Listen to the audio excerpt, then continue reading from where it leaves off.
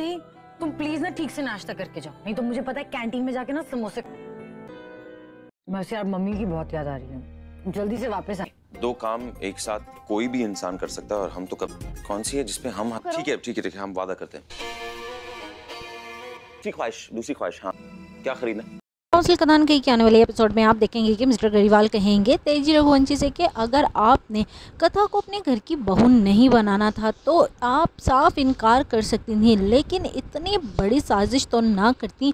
आपने तो अपने बेटे के साथ साथ इस कथा की भी ज़िंदगी को दाव पर लगा दिया है। क्या आपने सोचा था कि इन दोनों की शादी के बाद इनकी इस तरह की हकीकत को आप सामने लाकर क्या मुँह दिखाएँगी अपनी सोसाइटी में? क्या आप बयान की माँ होने की हैसियत से अपने बेटे के इतने बड़े झूठ और इतने बड़े फरेब को दुनिया के सामने ला कर ये साबित कर पाएँगी कि आपका बेटा निर्दोष है और उसने कुछ नहीं किया।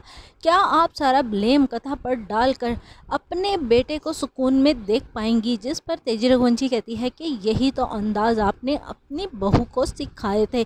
मैं तो बिल्कुल भी ये बात जानती थी कि ऐसा होगा, लेकिन शायद आपकी ही आँखों पर कथा की पट्टी बंधी हुई है।